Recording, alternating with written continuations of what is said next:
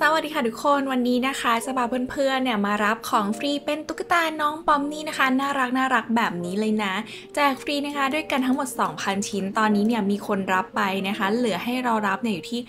1,600 กว่าชิ้นนะคะแล้วก็แมปที่แจกของฟรีนะคะจะเป็นแบบนี้เลย Camilla Man Race Simulator นะคะเดี๋ยวจะแปะลิงก์แมปให้ใต้คลิปนี้ค่ะ ในการรับของฟรีนะคะ เมื่อเราเข้ามาในแมปแล้วเนี่ยบริเวณตรงนี้นะคะ ก็จะมีเป็นไข่เนอะการรับของฟรีนะคะ ทางด้านซ้ายมือจะมีปุ่มให้เรากดได้เลยแล้วก็กดนะคะคำว่าวิวก็จะมาเจอนะคะเป็นเควสทั้งหมด 2 อย่างอันแรกเนี่ยเรานะคะจะต้องเล่นเกมนี้เป็นเวลา 3 ชั่วโมงค่ะ แล้วก็ต่อมานะคะจะเป็นการเปิดไข่ในเกมนี้เนี่ยจะเป็นระดับไหนก็ได้ ให้ครบทั้งหมด